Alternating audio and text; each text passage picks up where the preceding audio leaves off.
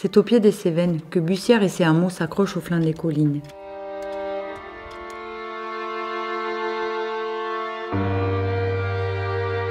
Rien ne paraît devoir interrompre la vie rythmée de ses habitants.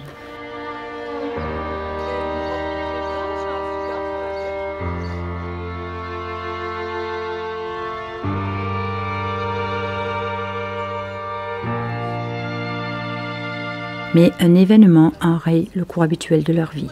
La jeune et jolie Louisa a quitté le Monteil. Les vieilles histoires vont alors ressurgir.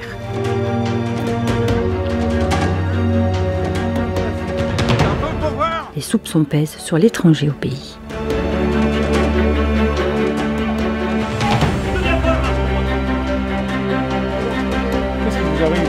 Vous n'en reviendrez